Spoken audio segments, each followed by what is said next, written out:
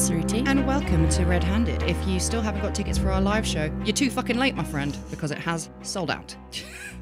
we basically found out that the links weren't working, and we were like, why the hell is our show not selling out when they usually sell out in minutes? We discovered that the link was fixed and now they're sold out. Yeah, we'll keep you informed of other ones that we might be doing this year. But yeah, for cryptic reasons that we can't tell you yet, uh, we're not doing a UK tour this year. That's all I can say. TBC. Um, TBC. Another thing that you guys might enjoy is I was going to talk to you like you're in this room. Do you listen to the Let's Not Meet podcast, Oh, dear yeah, listener? well done.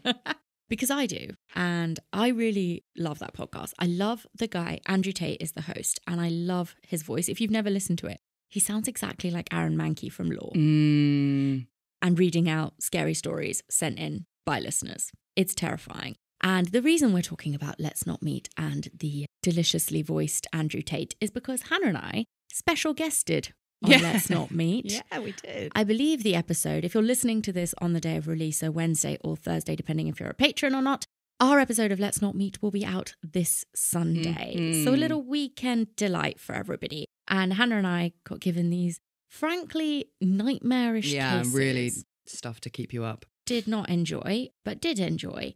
And uh, so if you fancy listening to that, head on over to the Let's Not Meet podcast and check that out this Sunday. It's basically, yeah, just true horror stories read usually by Andrew Tate, sometimes by us.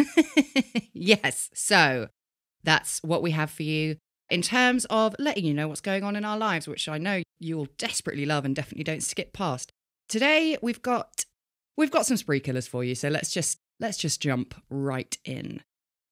As the people of America were still coming to terms with the horrors of 9/11, they found themselves facing a new nightmare. In the space of 3 weeks in October 2002, the residents of Washington D.C were terrorized by a pair of spree killers who carried out a spate of deadly sniper style attacks that claimed the lives of 10 people and injured three more. The shooter's choice of victims seemed completely random. In a rare move for multiple murderers, their victim profile crossed race, gender, age, and socioeconomic lines. This, of course, meant that it was pretty impossible to predict their next move. And it also meant that no one felt safe. People were running across streets in zigzags, anticipating the impact of a barrage of bullets. I think with this case, we've had it recommended a lot of times to us. Why am I being coy? You can see it in the title. We've also called it a sniper case, and it's in DC. It's the DC snipers. Is that it took place in 2002. I don't know why. When I look at pictures of this case, I always think it's past O times, but I think it's just because even in 2002, cameras were kind of shit. Yeah, terrible, yeah. So it's in 2002. It's in the noughties. And also, they killed the same number of people as Son of Sam, but I really don't think the DC snipers get talked about nearly half as much. No, not, not- even half as much, not even a fifth as much. yeah, hands up. I had no idea about this. Yeah, Never no, heard of it. It's crazy. So, when this case was playing out, FBI profilers, the media, and the public all assumed that the DC sniper was a lone white man, despite the fact that only over half of sniper homicides committed between 1976 and 2000 in the US were carried out by white perpetrators. Now, we discussed this false narrative of all serial killers being white men in our book. But you haven't bought it yet. Why mm-hmm. haven't you? You would know this if you had. And it is, of course, a common myth, but one that still persists to today, especially in pop culture. The idea of a calculated, methodical, repetitive killer is almost always put down as the domain of a white killer. It's the kind of crime in the West that's rarely associated with non white men. So, imagine everyone's surprise when the DC snipers were finally caught that they turned out to be a pair of black Muslims. This assumption of race and the role it played in the investigation of the DC snipers stirred a valuable debate afterwards. But we'll go into that a bit later. Because first, we need to explore the story of a bizarre team dynamic of pseudo paternal manipulation, coercive control, and abuse that all culminated in the rapid transformation of a young boy who had dreams of one day becoming a commercial pilot into someone capable of shooting an innocent girl at point blank range in the face whilst her baby cried in the next room. Lee Boyd Malvo was born in Kingston, Jamaica on the 18th of February 1985 to Leslie Malvo and Una James. Malvo's earliest memories of his father were all good ones. Leslie was the nurturer, Imagine the kind of hazy, vignetted Hallmark movie montage of a father teaching his son how to ride a bike, buying ice cream, reassuringly picking him up after he falls over, helping him with his homework, etc. All that good stuff. That was their relationship. Did you know Mm. that I was nearly called Una? Were you? Yeah. Una Maguire. Una Maguire. Yeah. So I could see you as a Una. Yeah, I yeah, I've never felt like a Hannah, as I'm sure I've discussed at length on the show. But my nanny, so my dad's mum, when my mum was pregnant with me, would just leave Irish name books just like around the house with like stuff underlined. And the eventual Mhm. compromise is that my middle name is Mary, which was her name. But yeah, Una was a contender, and also Anita. I think I'd smash being an Anita. Oh no, I Anita Maguire, you. are joking? Yeah, I don't see you as an Anita. I see you as an Una. yeah. It's a, it's yeah. a weirder name. I feel like I Mm. you suit Una. Ah, that's kind of sad that you weren't called Una. I know, so close. I really so see you as that. Hmm. No, my grandmother was very annoyed that my parents didn't name me after some sort of Hindu goddess. She was very disappointed by that. And the fact that they went with Sruti Leia, which, don't know. Apparently, there was like a singer that my dad was like in a parasocial love relationship with. Morally, you dog. I know. When he was at university, who was something along the lines of Saruti, and uh, she killed herself. So he was like, "That's what I'll name my daughter." Oh wow. yeah, good tragic love loss there. Yikes. Um, so grandma was very upset by Mhm. that, and I don't think she's ever fully got over it. Do you know what the handy thing is? Now that you've mentioned that your middle name is Mary after your grandma, both my grandmas have the same first name. Bingo bango. Ah. If I ever have a daughter, that's her middle name, what is it? Rajam. Uh huh. So there you go, easy. Not bumping it to, to first name? Uh, no. Don't care that much. so yeah, Leslie and Lee Boyd Malvo, they're having a great time. It's that classic thing of like uh, what I imagine is just like hazy around the corners of the screen, and they're just laughing. They're just laughing and laughing and laughing at you don't know what, but it's to show that they have a good relationship. And the thing you also have to understand is like contextually, at this time in the impoverished community of Waltham Gardens in Kingston, absent fathers were unfortunately all too common. So Malvo and Leslie's relationship was very much an anomaly. But where Leslie was the nurturer, Una, Malvo's mum, was the disciplinarian. And the very worst kind because she was the volatile, fire and brimstone sort of disciplinarian. Hmm. hmm And Malvo learned from a very young age that Una had expectations of him that stretched well beyond the normal expectations a mother would have for her child. She absolutely hated watching Malvo playing. In her eyes, it was just time he should have spent studying. It was just time completely wasted. So whenever her husband Leslie wasn't around to protect Malvo, Una ruled with an iron fist, beating her son senseless for the most minor things. Eventually, and probably predictably, Leslie and Una's marriage began to break down because Una suspected that her husband was cheating on her. And then one day she emptied their joint bank account and took off with Malvo. Throughout Malvo's childhood, Una would uproot him constantly, never allowing him to stay in one place for more than a year. In fact, by the time he was 15, Malvo would have lived in around 15 different places, attended 12 different schools, witnessed three people being murdered in front of him, and also an attempted suicide after his mother almost beat him to death. See, yeah, bad times. I can't say I relate to the latter part of that paragraph, Mm. but uh, by the time I was 11, I'd been to 13 different schools. No wonder you're so well adjusted. Mm. It really makes you be like, well, fine then. It really makes you start a dino blog. it really makes you. The internet and the dinosaurs Uh-huh, Uh-huh. It really makes you cripplingly lonely as a child. but it makes you an excellent reader. Mm, Books were my only friend. I, was, like, I didn't speak English. Well, I, I could speak it, but I just felt scared. So Yeah. there was all sorts of challenges. I was reading a thread this morning about today I learned, or like I was today years old Mhm. when. And there was this person who didn't realize they needed glasses. And he was like, I was in my second year of university when I realized that I hadn't actually been reading, I'd just been guessing the shapes of the words. oh, wow. in in context to what was going on. And I think when I was in my final year of uni, I was convinced for about six months that I couldn't actually read. I just memorized a lot of words. but but then some and sometimes the fear creeps back in. But then I start spelling out words and I'm like, oh, I can read. Oh, good, good, good, good. No, there was a girl I went to uni with who I was convinced was uh, completely illiterate because all she did was just like copy things down off the board, but I felt like she had no comprehension of it because Ah, yeah. afterwards she'd be like, "So about this," and I was like, "You wrote it all down. Were you just copying our shapes?" Anyway, it doesn't matter. It doesn't matter. What were we talking about? Una and Malvo. That's Uh, it. So after living years of transient lifestyles, Una and Malvo moved to Antigua with the hope of one day making it into the US. Life in Antigua was hard for Malvo, though. His mother would often leave him alone for weeks at a time in a one bedroom shack with no electricity or running water. But by this point, Malvo had learned to make the best of a bad situation. Despite his living conditions, Malvo remarkably kept his grades up. People would regularly see him studying under streetlights after dark. In his free time, with dreams of one day becoming a pilot, Malvo played as much of the Microsoft Flight Simulator 2000 game as he possibly could. And he did that in the local electronics store. Obviously, he did not have a console in his own home.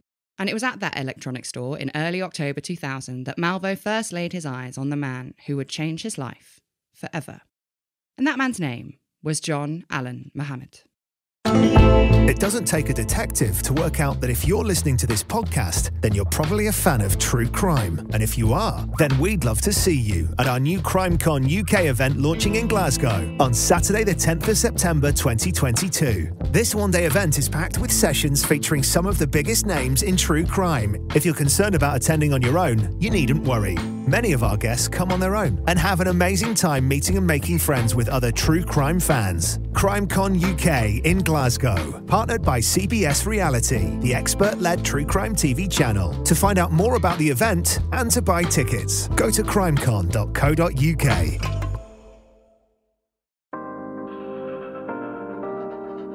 Hi, I'm Chris Hallinger, and I have a brand new podcast, Glittering a Turd, sharing its name with my best selling book. Catch me chatting to Giovanna Fletcher. What's fascinating about turds is that each turd it has an effect, and sometimes multiple turds come together to teach you your biggest learnings. Listen now wherever you get your podcasts. New episodes out each Tuesday. Search Glittering a Turd. Now, unlike how Una had come to Antigua with the hopes of making it to America, John Allen Muhammad had come to Antigua to escape America. When Malvo saw John, the first thing he noticed was the relationship that he had with his son. It immediately gave 15 year old Malvo flashbacks of his happy past life with his dad.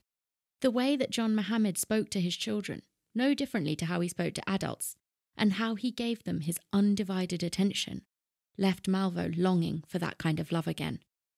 And from a distance, Malvo fell under John Muhammad's spell. What Malvo didn't know, however, was that John had two failed marriages, a string of failed businesses, and that he'd once thrown an incendiary grenade into the tent of a sergeant that he'd fallen out with during his time in the Gulf War. I would wager Mm. that a fully grown adult ass Mhm. man hanging out in a GameStop Mm-hmm. picking up children is possibly a red flag. Oh yeah, I mean, uh, there's there's red flags galore throughout the rest of this episode. Everybody, prepare yourselves. And the reason that John Allen Muhammad was actually in Antigua, hanging out in that electronic shop, playing games with his kid, was because he'd actually abducted his three children from Washington D.C. in the midst of a bitter custody battle with his ex-wife. His ex-wife was so worried about John that she'd actually got a restraining order against him because she was convinced that John would try to murder her. So, not a chill guy. No, No. no, the opposite. No, but through the eyes of a love deprived and abused 15 year old Malvo, he looks like a dream come true. Oh, absolutely. I Mm. think, especially because his dad was nice to him and his mum wasn't, and he en- and his mum is the one he ends up globetrotting with. Mm-hmm. Yeah. there would have been a big hole to fill. Oh, absolutely. That very same week, Una returned to Antigua and told Malvo that she had heard about an American man who could sell her a visa for the US. Together, they went to this man's house, and to Malvo's absolute astonishment and delight, the man was none other than John Allen Muhammad. And John provided Una with the necessary visa and paperwork that she needed to get into the United States. He even gave her an address, an entire life story that she had to memorize in order to ensure smooth entry into the nation. And soon enough, chasing the Yankee Doodle American dream Una boarded a flight and once again left 15 year old Malvo alone in Antigua.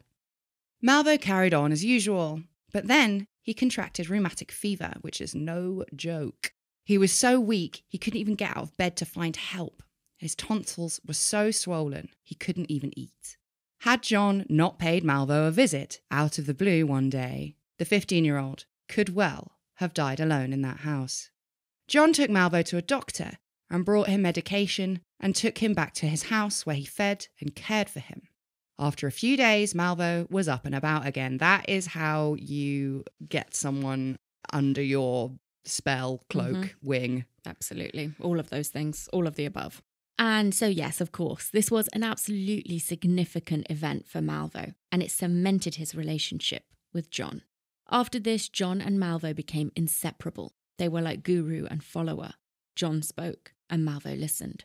Malvo began to confide in John all of his life experiences up until that point, how his mother had torn him away from his father and the void it had left in his life.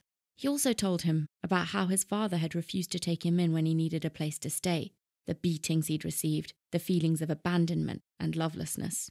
In turn, John Allen Muhammad shared his life story with Malvo, constantly pointing out the similarities in their experiences. John assured Malvo that it was no coincidence that they'd met. It was destiny that had brought them together. And John began introducing Malvo as his eldest son from then on.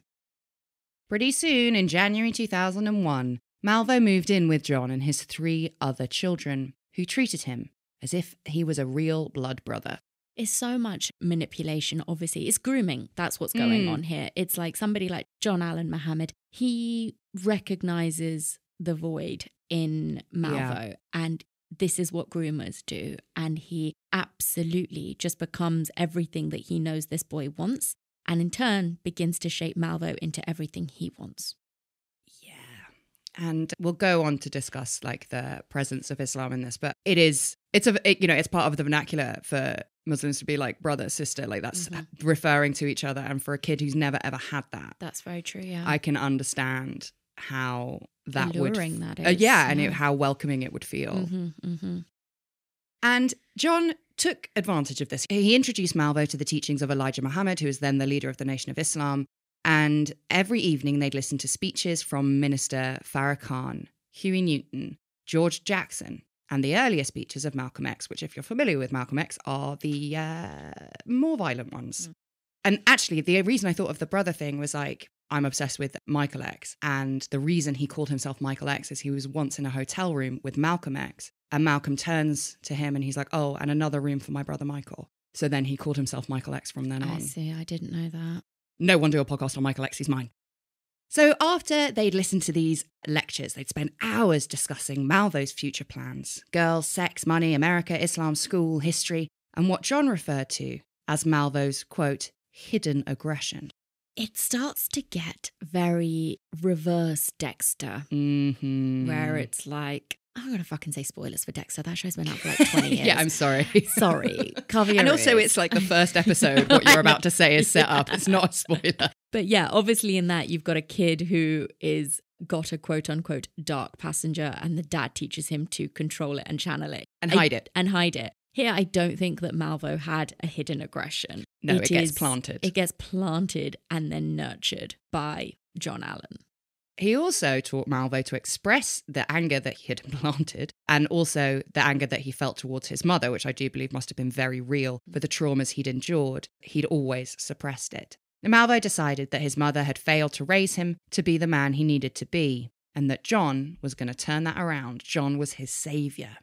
Malvo's previously Christian ideology was now replaced with John's version of Islam, and the formerly quiet teenager began to stir up quite a lot of trouble at his Seventh day Adventist school. Woof. Ugh, they, they take things very seriously. And he did that by openly questioning and mocking Christian beliefs. Uh oh, that's a big no. Uh, and it's an even bigger no that on occasion he attempted to convert his peers to Islam. Out of all of the Christian denominations, obviously, there are some more hardline than others. The Seventh day Adventists are uh, pretty, pretty hardcore. Mm-hmm, mm-hmm. They're not going to fuck with that shit. Absolutely not. They would probably have a problem with you being like, hey, do you want to become a Baptist? Like, Let alone. And one day, during all of this uh, rabble rousing conversion that Malvo's doing. The principal of his school called Malvo into his office to tell him that his behaviour was completely unacceptable and that he was going to have to contact Una to tell her what was going on. And it's then that it struck Malvo that there was once a time that the mere threat of his mother being called would have had him shaking in fear. But in that moment, he realised that he felt absolutely nothing. For the first time in his life, he felt completely free of the hold that Una had had over him. John had told Malvo that he needed to respect his mother, but also to remember that she was stupid. I'm assuming that the school know his mum is gone. I mean, yeah, I just feel like again, I don't know what the schooling system in Antigua was like. Oh, like yeah, sure, fair enough. Yeah. in the early 2000s, but presumably Una's just like either not telling them that she's gone Mm. or she's just like that's just how it is. Yeah, yeah, fair enough. Um, not fair enough. Awful, but Yeah. I understand now. So, in the spring of that year, the Antiguan authorities were closing in on both John's forgery business and his custody issues. Because remember, the custody issues are why he's in Antigua in the first place, and the forgery business is why Una is no longer in Antigua.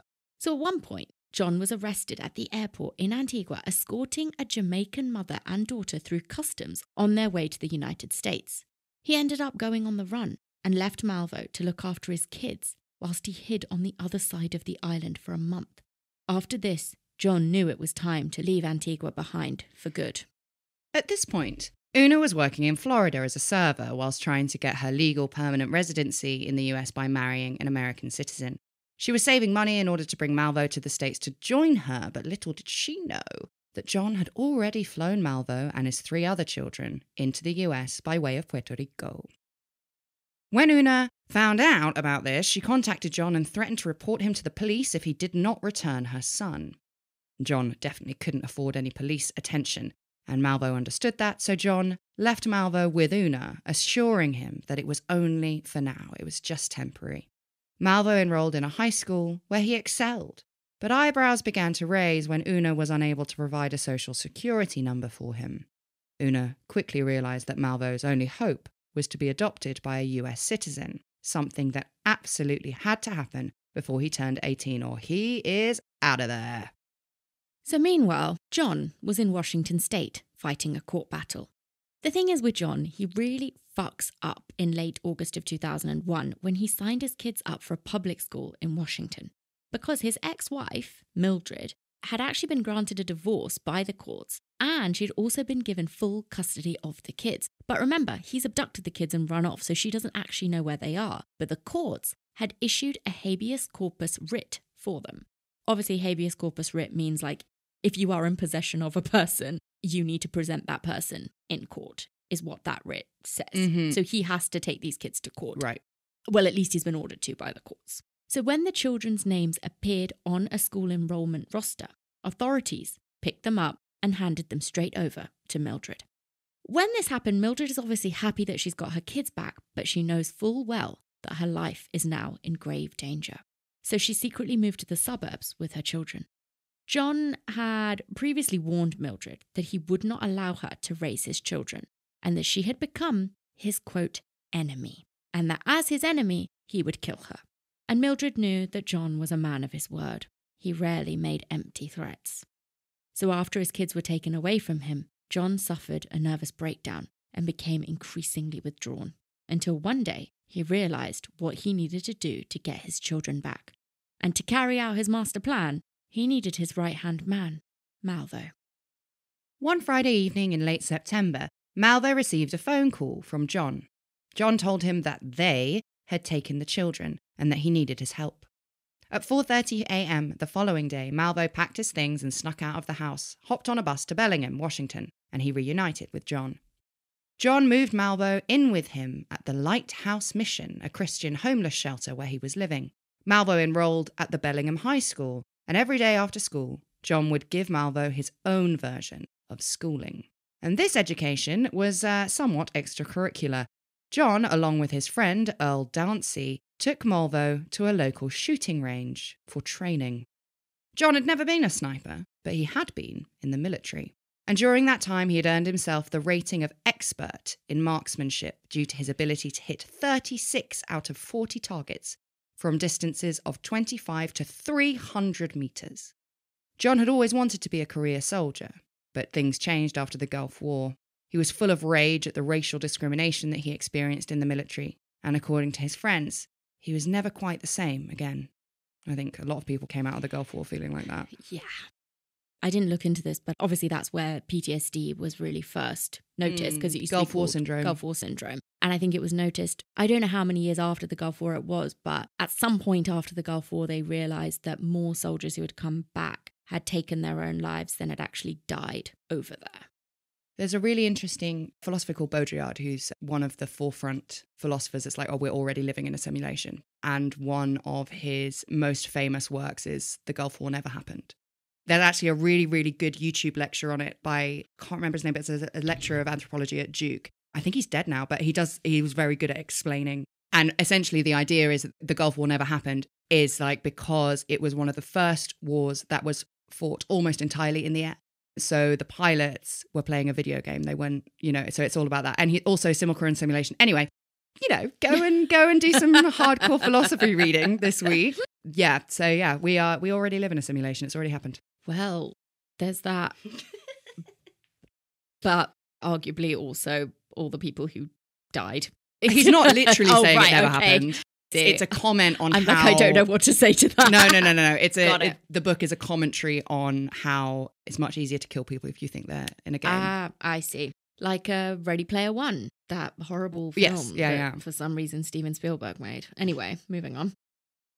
And like this, Malvo's bizarre basic training continued.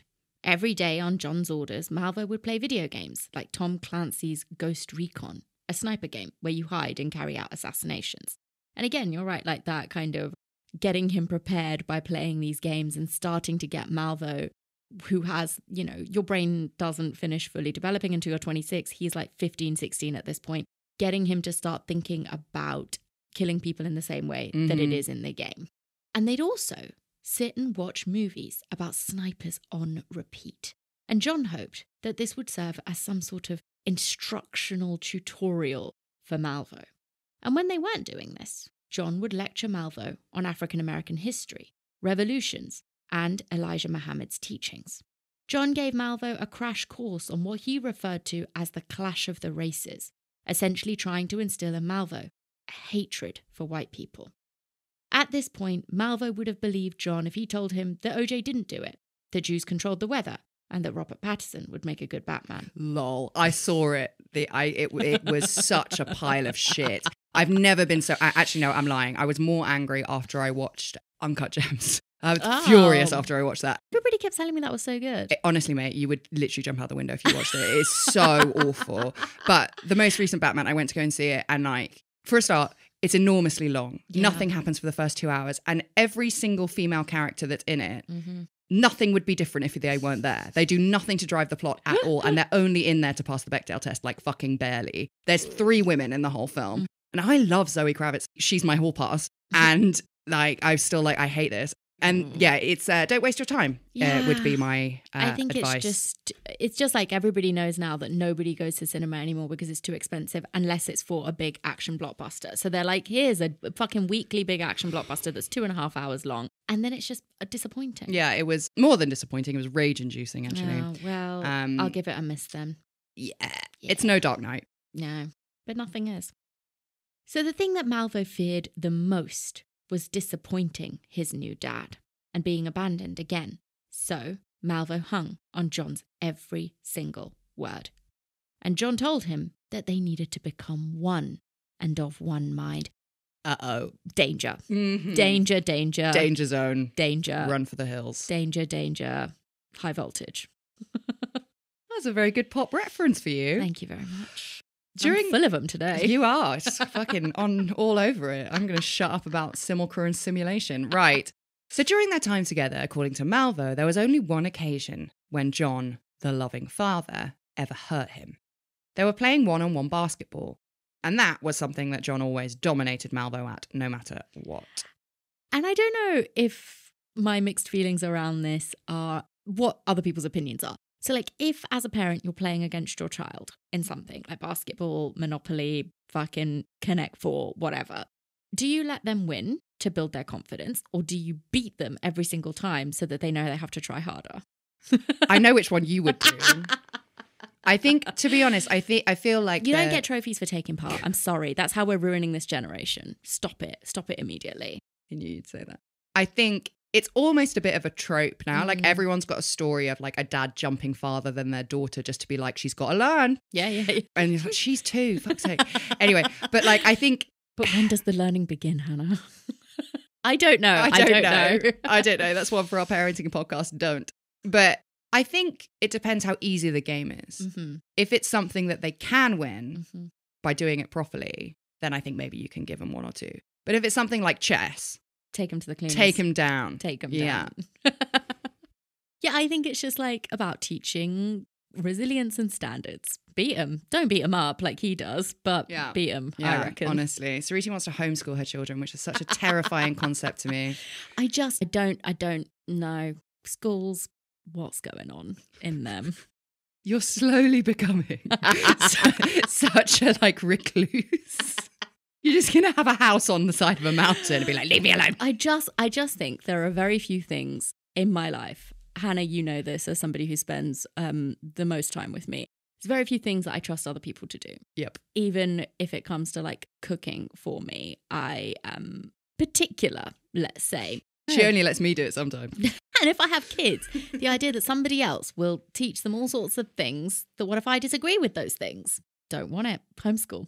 All right, bar a dictatorship. Well, Okay, so John is not of the let them win school. He Mhm. absolutely dominates Malvo at basketball. And then Malvo intentionally fouled John a few times by grabbing his waist as a joke. And when he went to do it again, John showed him a side of himself that Malvo had never seen before. He elbowed Malvo in the ribs and twisted his wrist until he fell to his knees in pain. Then he threw him about 10 foot across the court. John stared at the boy for a while before simply walking away. Neither of them ever brought up that incident ever again. In Malvo's mind, he was to blame for the abusive reaction by John. His self blame is obviously tied to his fear of abandonment, and he was entirely dependent on John, and he vowed to himself that he would never disappoint him again. This was the first and last time John ever physically abused Malvo. The abuse that followed would be psychological. And all John would need to do would be to give Malvo a look, and the boy would just do what he was told. He would comply with any order sent his way. After the basketball incident, the weekend trips to the shooting range continued. And for the first month at least, there was no talk of actually shooting human beings. When Malvo asked why were they training, John told him, quote, every young black man should know who he is, that he is a god, not God himself, but a god, and he must never forget the wailing of his forefathers, and that bloodshed begets bloodshed. Meanwhile, Una had decided that maybe the US wasn't the best place for her after all. And she decided that she was going to get her child back, even if it meant that they had to return to Jamaica. And so, on the 19th of December 2001, Una left Florida and arrived in Washington. She made two attempts to get Malvo back from John, even going as far as to call the police and then call immigration officers on herself and Malvo, because remember, they're there illegally. Mm-hmm. And on the 23rd of January 2002, Una and Malvo were sent to an INS safe house while deportation actions were taken against them. But Malvo climbed out of a window during the night and ran back to John. After this, Malvo's training schedule became more demanding than ever. You can tell, obviously, John is starting to sense that time is running out. So, first thing every morning, they would go to the gym, followed by the shooting range.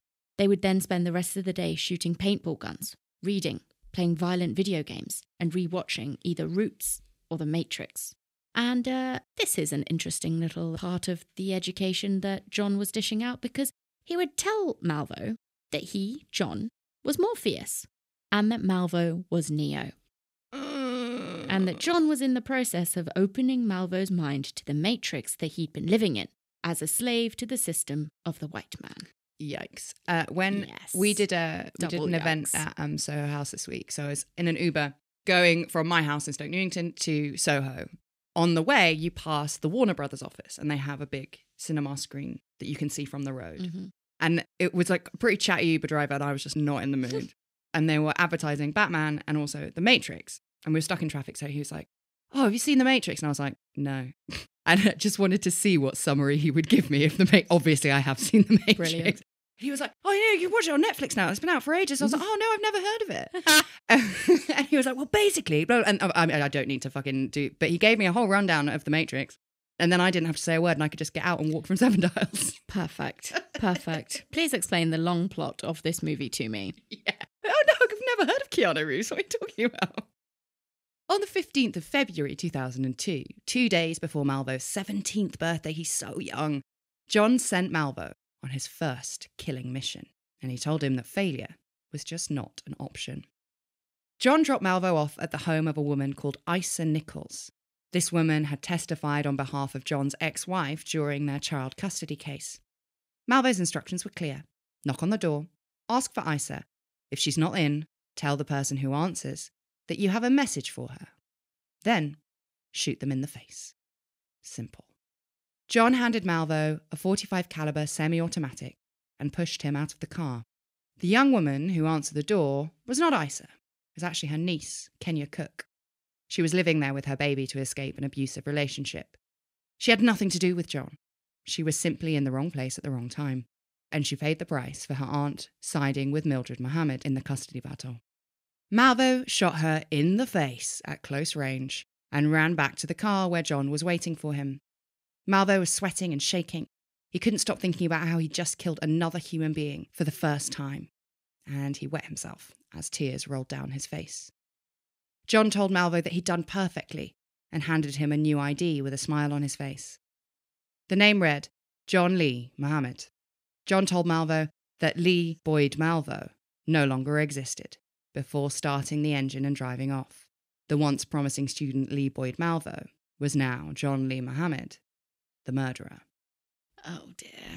Again, it's just the perfect profiling, isn't it? And he's a fucking forger. It's just a shit fucking fake ID that he's made, but he knows that Malvo is going to freak out after he shot this person. And he is like, I know how to pacify him. I'll give him this fucking fake ID.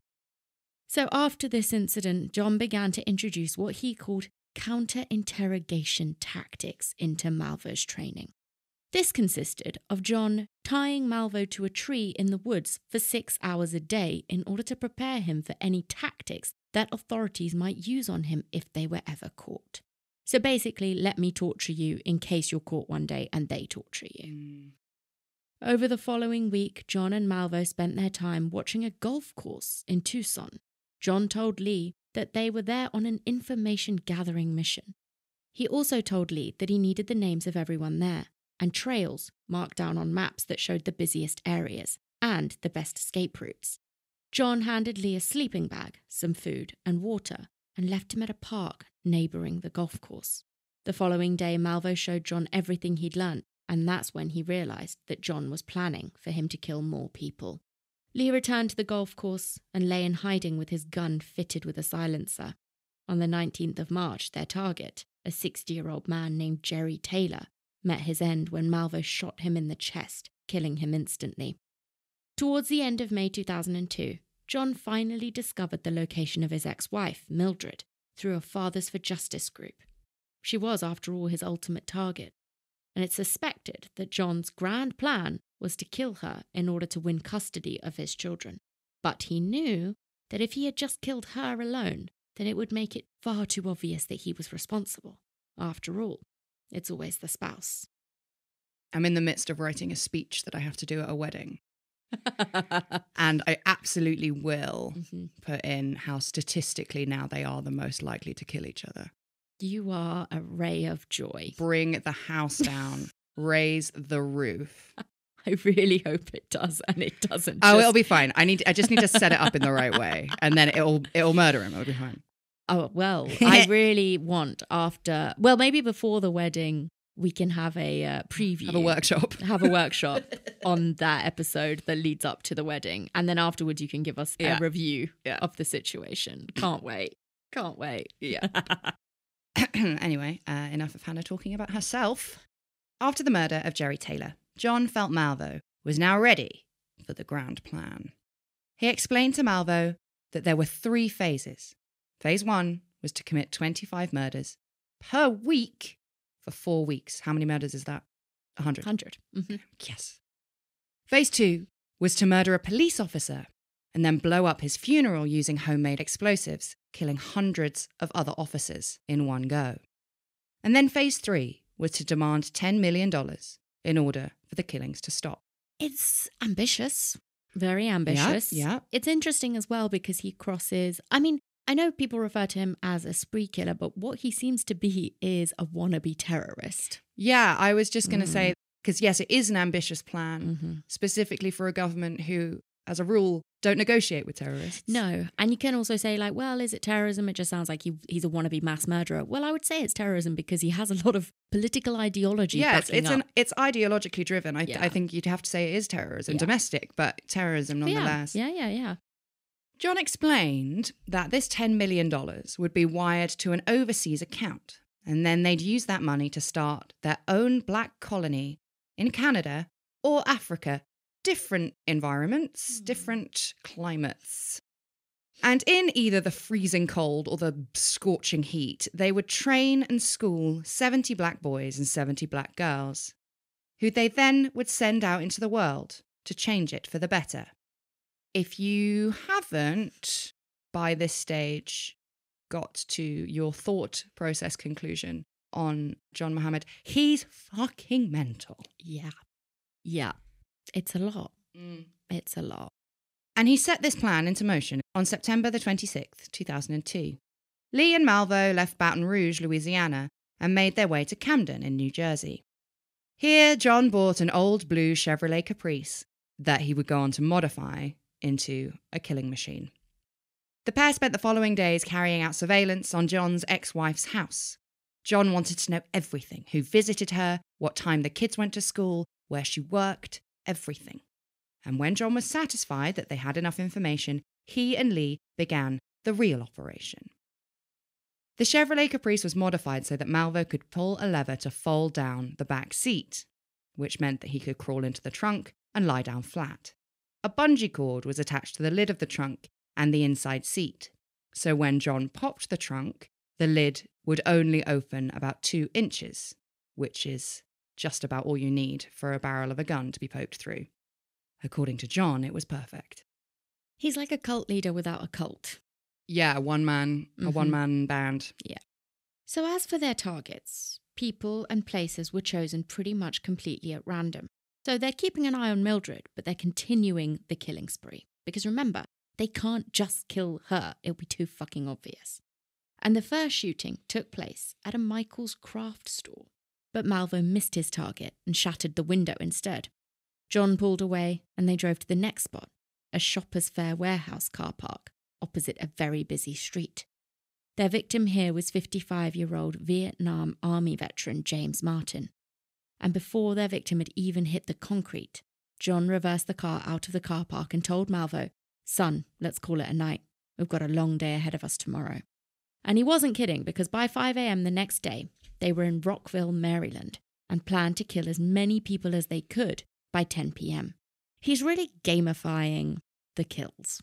Yeah, absolutely. It's like a PB. How can we have a PB today? How Mhm. many people can we kill by 10 p.m.? Exactly. The Gulf War never happened. The Same thing. So John spotted a man mowing his lawn. He was 39 year old landscaper, Sonny Buchanan, who had just moved in with his fiancee. John wanted to take this shot himself, so he pulled over, slithered into the trunk, and shot Sonny, killing him instantly. The lawnmower was still going and rolled off the lawn onto the side of the curb as Sonny laid there dead. They then made their way to a busy Mobil gas station where they chose to shoot Prem Kumar Walekar, a 54 year old cab driver from Pune in India. John shot him in the chest as he was placing the nozzle into his cab. The next stop was a car park near a busy street where John spotted a Hispanic lady sitting on a bench. Her name was Sarah Ramos, and she was a 34 year old former law student from El Salvador. Malvo watched as blood flew out of her head on impact before her lifeless body slumped on the bench. John and Malvo then stopped at a supermarket car park with a clear view of a Shell gas station. Malvo chose his victim, nanny and mother of one, Lori Ann Rivera. She was bent over her car seats with her back to the Caprice, vacuuming when Malvo's bullet took her life. At 3:30, John and Malvo ate their one meal for the day at a Jamaican restaurant and afterwards they killed their next victim in that restaurant's car park. 72-year-old Pascal Charlot was a Haitian migrant and skilled carpenter. He died instantly taking a bullet to the chest as he crossed the street. The next day didn't go quite as planned. They shot a woman 43 year old Caroline Seawell in the face outside Michael's craft store, but thankfully, the mother of two survived. John then insisted that they needed to go somewhere where they could kill at least seven people in quick succession before getting away, in order to meet their personal best target of 25 murders per week. And next, John had his mind set on Benjamin Tasker Middle School in Bowie, Maryland. John instructed Malvo that he needed to kill at least five kids and sent him to camp in the wooded area between the school and a row of houses. Again, I know we've said it's kind of this gamification thing, but it is really like someone setting you these quests or these Mm. tasks or these missions that you have to complete. Like it's so perverse. And that Sunday night, Malvo took his gun, 10 rounds, and made his camouflaged nest with leaves about 80 yards from the school. At 6:20 a.m. on Monday morning, Malvo was ready with his weapon, anticipating buses full of children to turn up. But the buses never came. Instead, he saw parents running with their children into the school, or kids sprinting from their parents' car into the building. If he was going to get a kill, he had to do it quickly. Because remember, by this point, there's a shooting spree. Like, people are fucking scared. Malvo shot 13 year old Iran Brown through the stomach. Fortunately, the boy survived. Before leaving, Malvo left behind a tarot card where he knew the police would find it. Was the tarot card of death, and on it, John had written, Call me God. For you, Mr. Police, do not release to the press. Fundamental misunderstanding of the death card there. Yeah, isn't that about like something else? Rebirth. It's about, it's about new beginnings, yeah. Mhm. So the d- death card is, uh, is actually a pretty good card. The tower, run. If you get that upside up, it's over. That's true. Arguably less ominous. Oh, we found a tarot. Phew, it's the tower. I don't know the tower, like the in the original imagery of Mhm. it, because it's it's the Tower of Babel, right? hmm And so it's um, people on fire jumping out of the windows. So it is a pretty ominous card. That'll do it. Yeah. But I think the key point here is is that you're starting to see John crossing the lines into yet more types of odd behavior. Like he is such a unique killer in the sense of you have the vibe of him being a spree killer, obviously. You have him being a revenge mission orientated killer because he's going after Mildred for a very practical reason. I wouldn't say he's a family annihilator because he doesn't want to kill his kids, but he, you know, this this destruction um, for revenge. And then you also have the terrorism angle, and now you have this very like serial killer esque aspect of him taunting authorities. Yeah. And for someone who's so hardline Muslim to suddenly be fucking with occult stuff like tarot cards as well, it's kind of like he, he wants to get his message across. He doesn't care how he does it. Mm-hmm, mm-hmm. On the 9th of October, around 7 pm, John and Malvo waited in a car park for the evening to get a little bit darker. Across the street from them was a gas station where they shot and killed 53 year old civil engineer Dean Meyers. They killed him with a single bullet to the head. Two days later, they shot and killed a man pumping gas. He was called Kenneth Bridges. He was an entrepreneur, father of six, and founder of MATAH, which is a distribution network that supported black owned businesses. As John and Malvo pulled out of the exit, they spotted a state trooper who'd heard the shot, but they calmly drove past him without rousing suspicion because they're still in phase one. Mm-hmm. John then spent the next few days trying to contact authorities, eager to get negotiations started on phase three, which is, of course, the $10 million that he believed he'd be able to get from them. But John wasn't able to get any of his calls to go through to the right people. So where's the admin that'll get you? And the FBI had actually opened up a toll free phone line to receive any tips from the public about the identity of the snipers. And over the course of their investigation, they received over 60,000 calls. On the 14th of October, the pair posted up across from a Home Depot car park and laid in wait. Malvo spotted a woman loading something large into her boot and gave John the signal. The woman was 47 year old FBI analyst Linda Franklin. She had just undergone a double mastectomy for breast cancer, had two children, and was about to become a grandmother when John shot her dead in front of her husband of eight years. The following Friday night, John dropped Malvo off at a cemetery behind a strip club. What a location. And the target area was a McDonald's across the street. John told Malvo, quote, I don't care how long it takes you, shoot a pregnant woman. He wanted a killing that was going to enrage the public. Malvo sat there until 2 a.m., but he just couldn't bring himself to do it. John forgave him, saying that it didn't matter because phase two of the plan would get the message across regardless. And now he'd changed phase two from killing a policeman and blowing up the funeral to blowing up a succession of school buses instead. On the 19th of October, a man named Robert Holmes was on the phone to the police. He claimed to know the identity of the shooters who'd been terrorizing the nation. He'd seen the shootings on TV and he was certain that the shooters were John Muhammad and Lee Boyd Malvo. Robert had served in the military alongside John and knew him pretty well. Malvo and John had even stayed with him a couple of times when they visited Tacoma.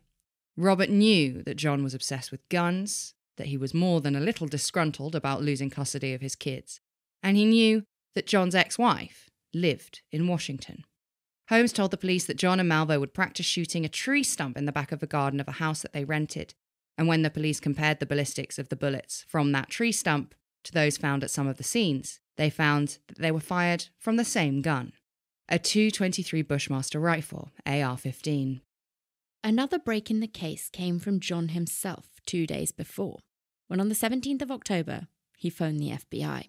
And remember, from the card, from his attempts to want to contact the police, we know that he's already going down that slippery slope of wanting to taunt authorities. And he told the FBI that he was the sniper calling and hinted that he was also responsible for the murders of two women from a month ago during a robbery at a liquor store in Montgomery, Alabama.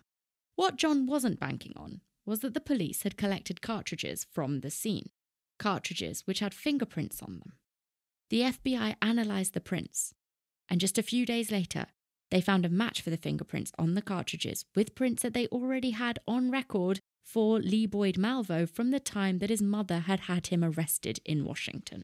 They also found in his arrest notes that Malvo was linked with a man named John Allen Muhammad, the name of the man mentioned by none other than Robert Holmes on the FBI hotline just a few days beforehand. It's quite rare that you get such a, Mhm. a single handed takedown. Absolutely. And again, we'll go on to talk about this later, but like the FBI make a lot of mistakes in the investigation of this case. And the only reason they caught the DC snipers when they caught them, I mean, they'd already killed 10 people and injured three, but they caught them when they caught them was because Robert Holmes, man, what a fucking dude. Mm. Like to be like, I know who this is. Like there wasn't that much information. And the FBI were out there saying it's a, it's a lone white. Well, they do later say that they thought it was a team, but they're basically out there being like, it's either a lone wolf white Mhm. man killer or it's a pair. Like for him to be like, no, no, no, I know who this is. Like, well done. Mm. And they just got incredibly lucky with the forensics. And while the FBI were unraveling all the information they'd just been gifted by Holmes, John and Lee carried on their killing spree. On Saturday afternoon, they shot a man called Jeffrey Hopper as he walked out of a restaurant with his wife. Jeffrey survived. As they drove away from this shooting, they were pulled over by the highway police who asked them if they'd seen anything suspicious. John said that he hadn't, and then he asked him, Are you going to catch these people? To which the officer replied, We're doing the best we can, sir. Two days later, on Monday, the 21st of October, they shot and killed their last victim, Conrad Johnson, who is a bus driver, who, like Malvo, was a Jamaican migrant. On the 23rd of October, the FBI finally discovered that a blue Chevy Caprice with a license plate NDA21Z was registered in John's name, and they spread the word to every news outlet in the country. And just a few hours later, at around 1 a.m., the police received a phone call from a truck driver, Ron Lantz, saying that he'd spotted the very same car. It was parked up outside a rest stop on Interstate 70 in Myersville, Maryland, with two men sleeping inside. Ron and another truck driver blocked the exit from the highway by parking their rigs across the road, whilst the police and SWAT teams made their way there. John and Malvo were arrested without struggle, and the nightmare was finally over. For the majority of the investigation, everyone was searching for a disgruntled middle aged white man in a white van. People were in disbelief when it was found that the killers were two black men. Well, one black man and one black teenager. It just didn't fit the profile that experts had built. But this might also have been part of John's plan. I don't know. I think some people say this. They say that his randomness and his like being all over the place and sort of flipping MOs and flipping his like behavior constantly was to throw off authorities. I don't know how much of it was as calculated as that and how much of it was just because John is an incredibly erratic person.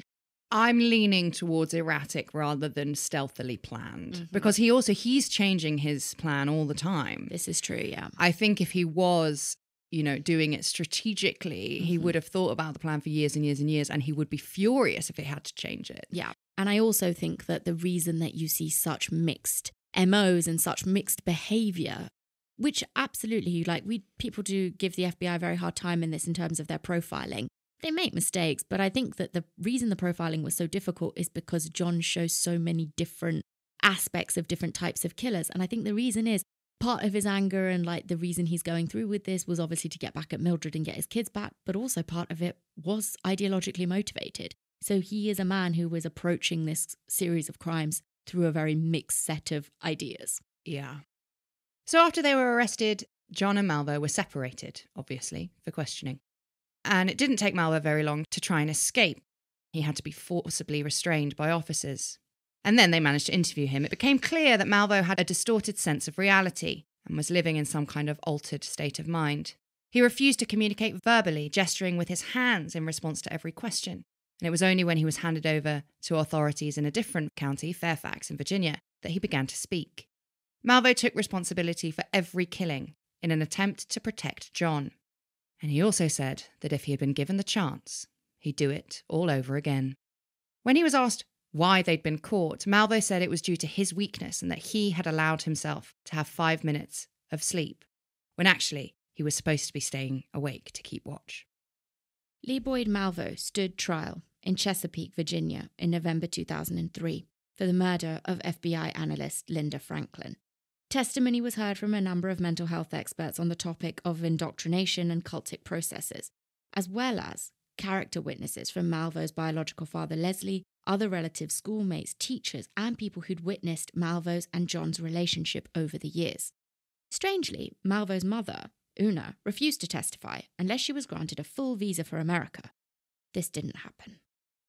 The defense's main position was that John had orchestrated the shootings as part of his mad plan to kill his wife and get his kids back, and that he'd simply used Malvo as a pawn that he'd manipulated for his own ends.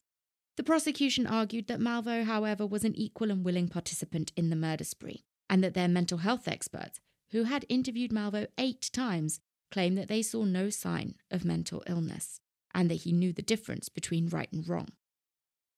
I would argue that for coercive control to be in place, you wouldn't need to necessarily show signs of mental illness or not No. knowing the difference between right and wrong. On the 18th of December, after 14 hours of deliberation, the jury convicted Malvo of capital murder. They later recommended that Malvo be handed life without parole instead of the death penalty. And to this day, Lee Boyd Malvo remains incarcerated at Red Onion State Prison in Virginia. Pardon? I know. Why?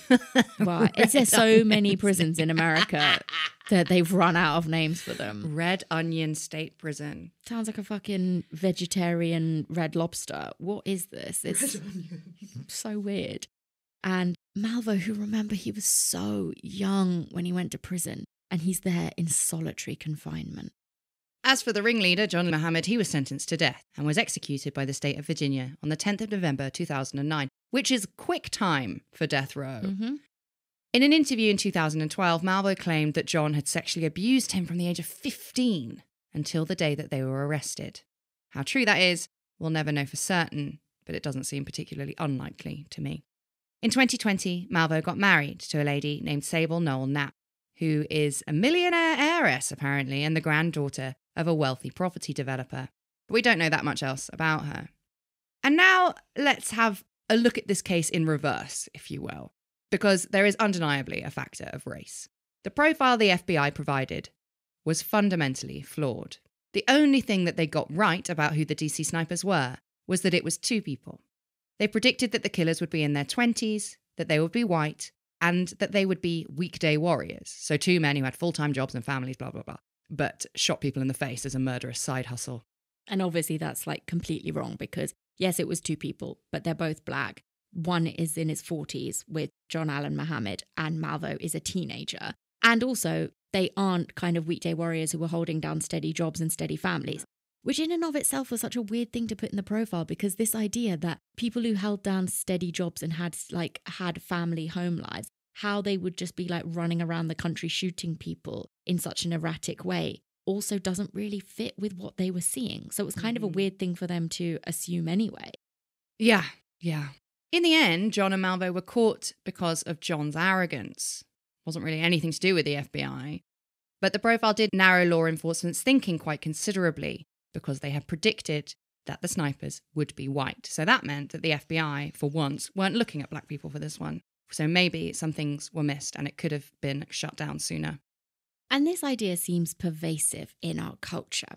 Caroline Picart and John Browning, in their book, which is called Speaking of Monsters, posit that the popular misconception that all serial killing is done by white men is due to the continuous cinematic depiction of just that. So here we're talking not about the FBI sort of predictions, but you know, maybe it's also a part of that discussion. But why people, like in wider society, in pop culture, tend not to ever think of non white serial killers being perpetrators. And honestly, I think we've made this reference before, and it's definitely in the book. The idea of like, I still can't think of another Hollywood film that depicts a non white serial killer other than Switchback. Mm, I can't think of one. I mean, obviously now people started watching like more foreign movies.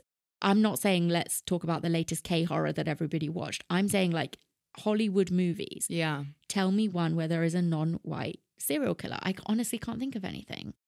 And all of that is despite the fact that serial killers are active in every single nation in the world. And while, yes, the US does, by quite a considerable country mile, top the charts, there are lots of reasons for that.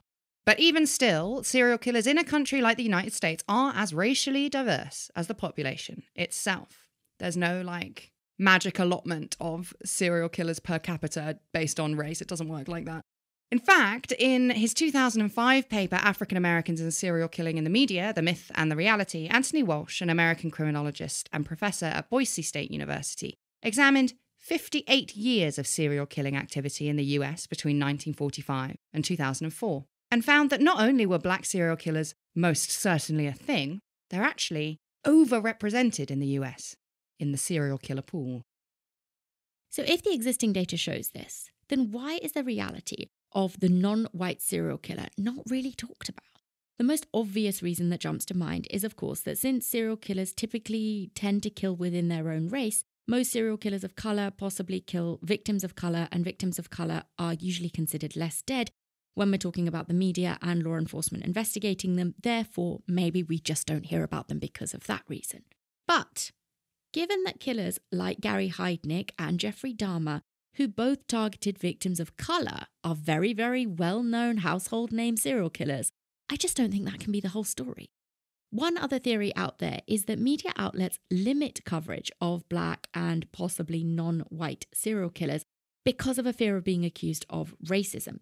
We have definitely seen things like this, not with serial killers, but with things like the Rochdale grooming gangs, stuff like that in the UK. There is absolutely a precedent for the media, authorities, social services, etc., not wanting to point the finger at particular crimes that are happening because they don't want to be called racist. But we also do know that the media has absolutely no issue going after different races with regards to other crimes, like, for example, if it's gangs, drugs, terrorism, pick your favourite. So I think this is possibly quite a generous theory in some cases, but not always. So we have to say that it's probably because, as a society, we are completely in love with serial killers. They totally dominate pop culture and entertainment. Obviously, you're listening to a fucking true crime podcast, one of probably millions in your rotation. Serial killers are very clearly fetishized by society as being geniuses. You need to look no further than the likes of Hannibal Lecter. The idea is that they outsmart everyone, that they're always 10 steps ahead, they're omnipotent, dominant, powerful. It's all very sexy, right? So, do we ignore serial killers of colour because society and the media are only too happy to apply these traits to white men, but possibly not men of colour? Probs. Dun dun dun. is my academic opinion on that one. So yeah, I think it's a combination of the two. We see it in terms of like positive discrimination and negative discrimination, like when people don't want to investigate certain stuff and then they overgeneralize with other things. So it's a mixed picture. But that is it, guys. That is the case of the DC snipers. Yeah, you've been asking for it for ages, and lo, we have bestowed upon you what mm-hmm. you wanted. If you want to come in here and talk about cults and stuff like that, you can bop on over to Spotify for our Spotify exclusive show, Sinister Societies, where we talk about some stuff that I can't remember because I'm very hungry and I need a wee. And now, Thank you ever so much for listening, and double thank you to our patrons, $20 and up. This week we have Jeannie Hughes, H. Bliss, Amy Dickey, Sean Lang, Brandy Linville, Bex, Ilea Brubaker, Caitlin Summers, Megan Colwell Javoski, Brandy, Kieran Voss, and Harrod Crabtree, what a name, Connie Panzariello, Riley Winkler, Grace, Jessica Sell, Healy, Jay, Robin Schaefer, Olivia Kelly, Imi Price, Jenny Potton, Haley Buteau, Amanda L S M I S M. I don't know what that means, but I'm now worried. Elizabeth Casely, Sherry Dawn Sheffield, Dehanye, I don't I'm sorry. Diane, Ashley Pin, Skittles the Wolf, Caitlin Lovelace, Richard Robertson, Norma Tag. Gateson. Brandy Huggins, Patricia Kotzle- Kotzlewskaya, sorry, Isabel Nawakoko, Labyrinth Mistress Cat, Cindy Michelle, Natalie Garrington, Simon Jones, Sasha Martin, Grace Mariki Duplessis, thank you, Kam Kamari, Joanna Adams, McMur- what guys? Put your name. This is just McMullibus 0079. Yeah, it's just lots of letters.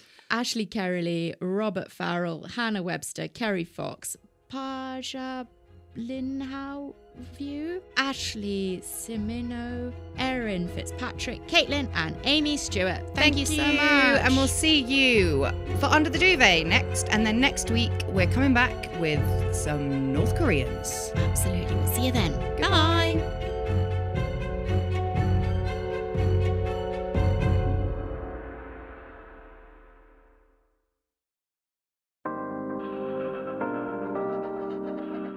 I'm Chris Hallinger, and I have a brand new podcast, Glittering a Turd, sharing its name with my best selling book.